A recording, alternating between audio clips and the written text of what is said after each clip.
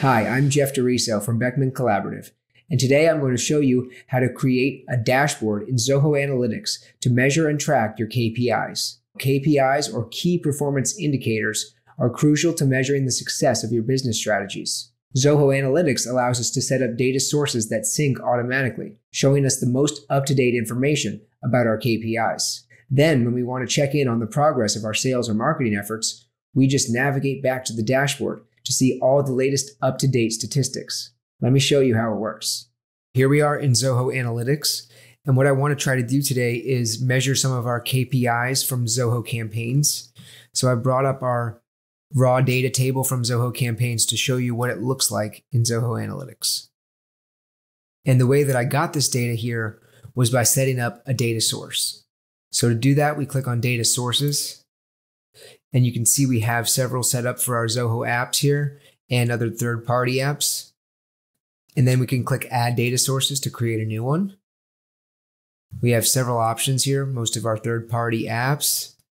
We have we also can upload a file for an Excel file or CSV file. We can get data from a feed or URL. We can get data from a Google Drive or Work Drive folder. So the possibilities are really endless for importing data into Zoho Analytics. The other important thing about your data sources is that you can select which fields specifically you want to bring in. So you can select Edit Setup. And that takes you to a screen where you decide exactly which fields you do or do not want to import into Zoho Analytics. And you also can decide how often you're going to import the data. The most often you can import data is every three hours. Now, if you do have a scenario where you need to update this information more often than three hours, you do have a couple of options. You can write a custom function with the Deluge scripting language, or you can also use Zoho Flow, which is a no code workflow builder that sends information between applications in real time. And I will expand on both of those subjects in future videos. So let's go back to our data table. So when we look at this table, each row of the table is one email campaign. And then each column here is the fields that we have in Zoho campaigns. We have the number of emails sent, unique clicks, unique opens, bounces, just the raw information about each campaign. Now, let's say your KPI is the click rate. So the click rate is the number of clicks divided by the number of emails sent. So that would be calculated with a formula. Now, when you import data from your Zoho services, these tables are going to come with formulas already added automatically. So the way to view and edit those is to go to add, edit formulas. There are two kinds of formulas. Uh, formula columns, which creates a new column in your table and does the calculation for each row.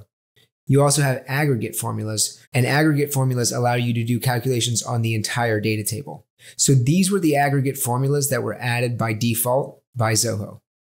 So let's look at the click rate, for example. So the way this formula is calculated is the sum of the unique clicks column divided by the sum of the emails sent column. And if you want to represent that as a percentage, you multiply that number by 100 and you make sure your data type says percentage here. So the aggregate formulas don't show up in the table, but when we go to create our KPI widgets, they will show up. So now that we've gotten our data into analytics and we understand how the KPIs are being calculated, we can create our dashboard. So let's click create and dashboard. We'll call it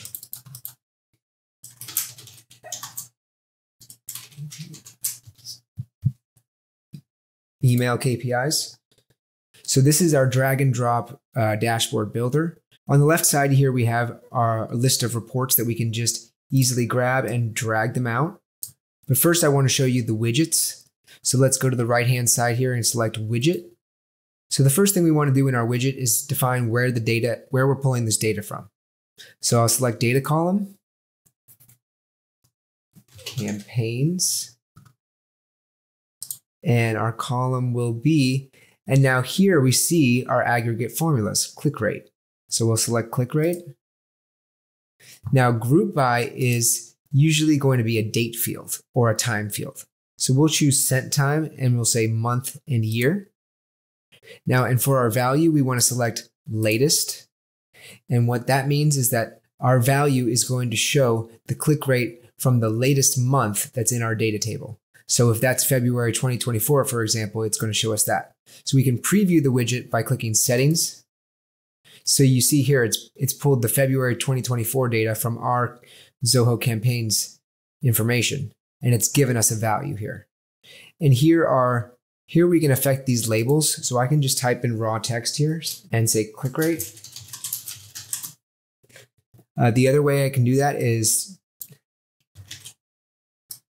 by dynamically inserting the field label by doing that string of text here dot label. And that will dynamically pull in the name of the aggregate formula so that if the, the, name of the aggregate formula ever changes it will dynamically pull into your dashboard. So now we've created a basic widget.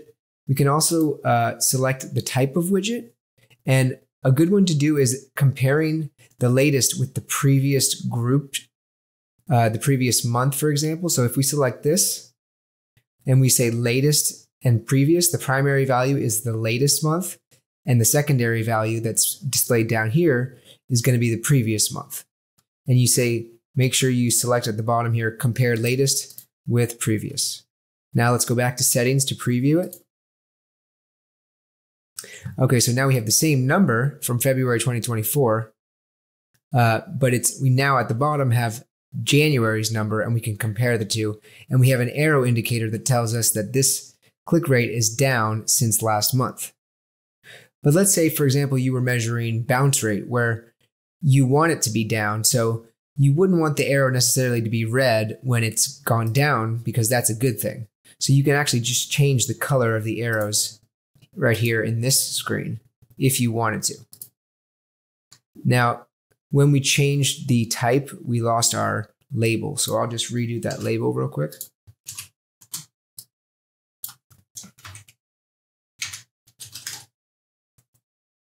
Okay, so now we have our click rate from February 2024 compared to January, and we see that it's down. We also have the ability to do custom stylings for our widget, uh, but we can do custom styling also at the dashboard level using themes. So I'm just going to keep the themes selected now for this widget and I'm going to click apply.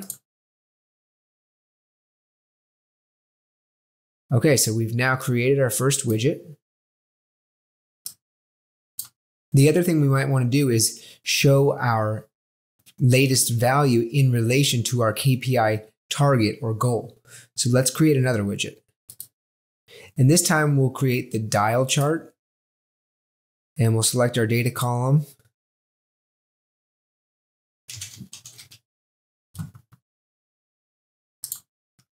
And we'll select, this time we'll select open rate.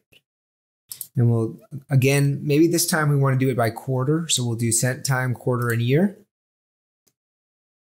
Now, instead of previous for our target, we want to add a constant value here. And that is going to be whatever our target open rate percentage is. So let's just say a good one is 40%. Okay. And then your maximum would be some number that's higher than your target. So let's look at the settings to preview that. Okay. So here we have our dial chart widget. We have our open rate for Q1 2024. And this line here is our target. 40%. Uh, we can select show target label here, and that makes it a little easier to understand that this is our KPI target, here this line, and this is our actual value based on the data in the table and our aggregate formula. We also can change the styling of the dial itself. We can create a speedometer style, and we can also manually set the ranges for the red, yellow, and green sections. We can also create a conditional dial where the value changes color based on how close you are to your target. So within 25, 50%, within 20%, it's going to change color. We'll just select a simple, and that's just our basic monochromatic dial here. And again, we can update our label here. And we'll click apply. So now we've created our dial widget, which tells us how close we are to our quarterly open rate goal. So that's two different common styles of KPI widgets. So now we can create these widgets for all of our KPIs, and this dashboard will live update every three hours with the new numbers based on the current data. So now what we can do is go one step further and show the trends of our KPIs over time. And we'll do that by creating a chart. So we'll select create, chart view, and we'll select the campaigns, the same campaigns table. So let's create a chart that shows the hard bounce rate over time. So we'll, we'll drag hard bounce rate to the y-axis. We'll choose again sent time on the x-axis. We'll select month and year and we'll generate graph. So all we had to do was drag and drop those two columns and automatically we've generated a trend graph for our bounce rate over time. We can do different chart types here and we can also change our chart settings. If we want a smooth line, for example, instead of a straight line between our markers. And let's give this chart a name. Say rate trend. The other thing we can do is click analysis, trend line, add a trend line, and we'll use our hard bounce rate. And we'll click apply. So now we see our trend line based on the averages of our bounce rate data over time. So that can be really helpful to see how things are going in any certain KPI or metric. So now we'll save this chart once again. Now, the other thing we can do with this chart is that we may want to limit the time period in certain cases. So what we can do is create what's called a user filter. So we'll select this user filters tab here. We'll drag sent time in there.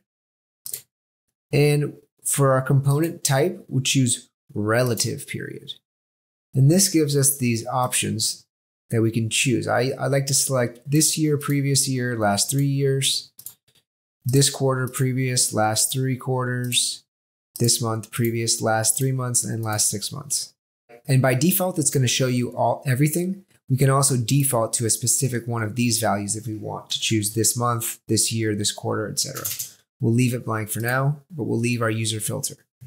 Now we'll click save. Now let's go back to our dashboard builder. And all we have to do is drag this out into our dashboard. Now you can see automatically our user filter got added to the dashboard. But we may not necessarily want to do that because that's going to affect the entire dashboard rather than just this report. So I'm going to hit the remove button here. And instead of adding it as a user filter for the entire dashboard, I want to select the three dots here and select options and say show report specific user filter.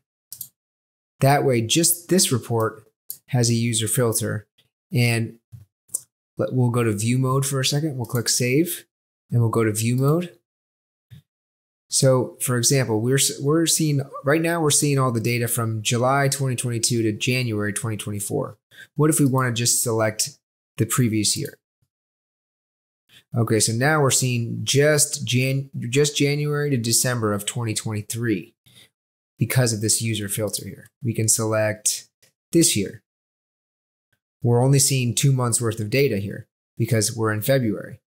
You could select the previous quarter. So we get three months worth of data here. So that's how the user filter works. We can reset and it gives us all the data once again. So now to affect the overall look of this dashboard, we can go to themes up here in the top right hand corner. And we can just select these and see we have some different options for our themes. when you one of these themes that you like, you can customize the colors here. You can make a dark theme. We have our lighter ones, and you can customize these colors further in the Customize tab here. And here's where you can get really specific about what colors you want. So I'll click Apply. So now we have this visually appealing dashboard with a consistent color scheme that also contains accurate and up-to-date information. So that's how you make a KPI dashboard in Zoho Analytics. Uh, this is a good thing to do at the beginning of a year or whenever you make a big shift in your business strategy and you have new things that you want to measure. Um, you just set it, you set this up once and you come back to it every month or every quarter, whenever you need to check on how things are going. So if you're a Zoho Analytics user, dashboards can give you a really high level view of your data in a way where you can just check in on it quickly and get back to what you're doing. If you have any questions, feel free to add them in the comments. And you can always contact Beckmann Collaborative for support and subscribe to our channel if you haven't already. Thanks for watching, and I look forward to seeing you on the next one.